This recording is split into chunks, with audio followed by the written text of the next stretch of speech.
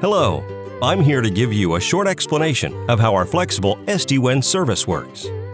For years, we have been delivering hybrid WAN solutions, a combination of Internet and MPLS access for our customers. Initially, Internet enabled online surfing, but it was never considered a reliable or secure enough way to transport critical business applications. Now, SD-WAN technology is changing the game.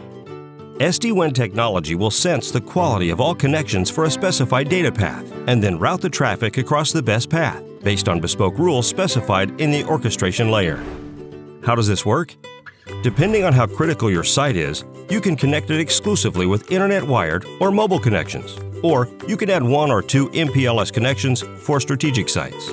Then our orchestration platform the brain of flexible SD-WAN will steer the traffic dynamically through the best connection type, depending on the quality of service specified by the application that you are expecting, whilst transporting your data in an encrypted way to secure it independently of the transportation.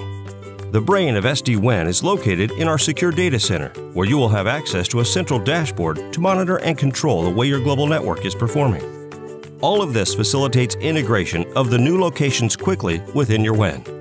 I hope that made things clear. Thanks for listening.